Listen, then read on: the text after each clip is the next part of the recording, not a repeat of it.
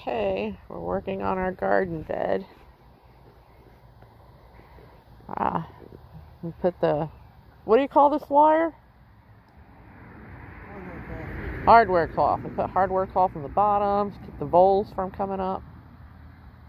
We got the, oh, what's this wood stuff called? huh? Wait.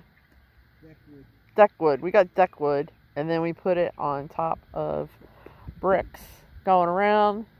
That way we've got like absolutely no rot going on. So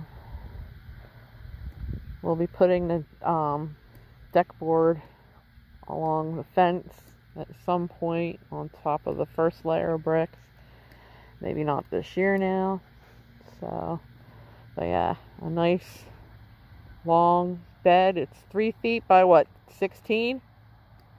24. Oh, 24.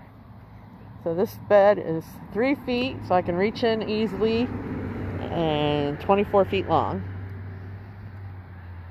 So, um, as you can see, we got plenty of room that we can add in as many of these as just about as we want. So, like eight, shorter one,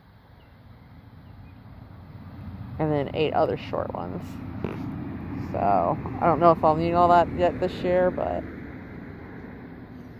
maybe a couple for this year. Along with all the around the edge will be tomatoes, peppers. So see how many I need. Okay, we've got our bed done. Um, these two by twos are in the centers here, screwed in to keep the bed from bowing out. Over here, you can see how long it is. It's three foot wide, 25 feet long. So, and then we're putting bedding all around the whole edge. So, yeah, we will have plenty of growing space.